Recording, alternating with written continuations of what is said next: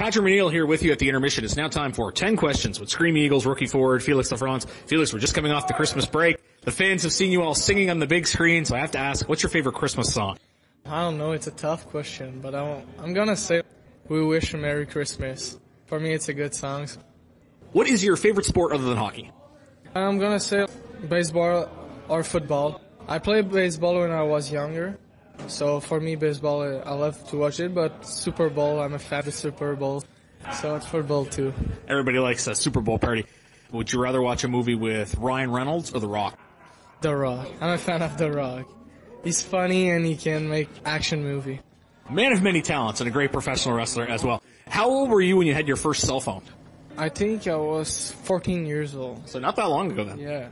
Of all the players in the Screaming Eagles, you've had a chance to get to know everybody here. Who do you think is the funniest teammate you have? Funniest? It's tough. I'm gonna say Smitty. Smitty's funny. Yeah, Smitty. True captain leads by example in a lot of different ways. If you're like me, you might not have an answer to this question, but what is your favorite vegetable? I'm gonna say carrot. Carrot? Okay. Yeah. Raw or cooked? Raw. If you had to live without either Netflix or YouTube, which of those would you rather give up? YouTube. I watch a lot of series in Netflix or movies. If you're at a hockey game as a fan, what is Felix Lafrance buying as a snack at the arena while he's watching the game? Popcorn. yeah, popcorn or hot dog. I promise we won't tell the coaches, but have you had either one of those Centre 200 yet? No. Good answer.